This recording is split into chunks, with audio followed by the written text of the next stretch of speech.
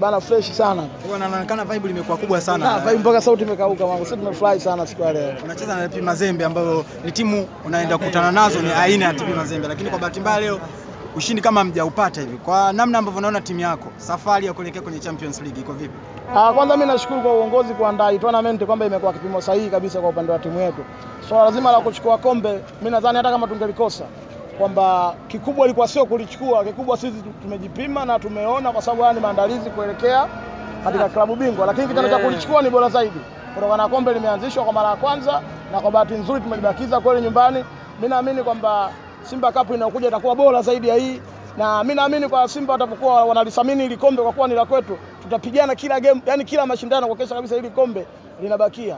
Anatoka mtu anaingia mtu, yeah, anatoka Chikwende anaingia Chama, anatoka Chama anaingia Mikisoni. Bana, kikosi ni kipana. Yeah. Ingine unaweza ukazungumziaje sasa kuelekea kwenye mechi za ligi kuu ambazo zinatarajia kuanza wiki ijayo? Ah, mimi nadhani kwamba kila mmoja akaona kama hizi klabu kubwa Afrika na zimeonyeshwa mpira huu, sidhani hao ndugu zetu wa ligi kuu wanakuja kupokea balaa la aina gani, kwamba sasa hivi Simba ipo, ipo ya moto alokuwa benchi pengine hawezi kupata nani na aloanza kujua tofauti nani mzuri. Kia alokuwa nje mzuri alianza mzuri. Kwa hiyo mimi naamini kabisa sisi kama mashabiki ndio kitu ambacho tulikuwa tunakitafuta na viongozi wetu, mimi nawapa big up kwanza kwamba wamewaletea mashabiki kitu ambacho wanapenda. Leo mwana Simba unatembea popote unavimba, si unajua? Yaani sisi tunaamini kabisa hapa Afrika si klabu yote tunaweza tukaipiga nao na tukaifunga.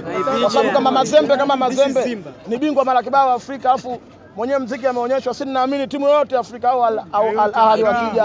AS Vita Almerek hatuambii kitu.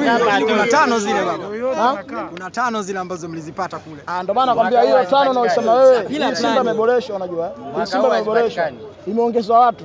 Mimi naamini kabisa, wewe unaona tumeingia kwenye makundi kibabe, kala mtu goli nne kwa Mkapa wale Al Hilal wako kundi moja na Mazembe, juzi tumewapiga goli nne. Kwa ina maana hiki, yani huu ni muonekano mzuri kabisa kwamba huko tunapokwenda tunakwenda kufanya vizuri.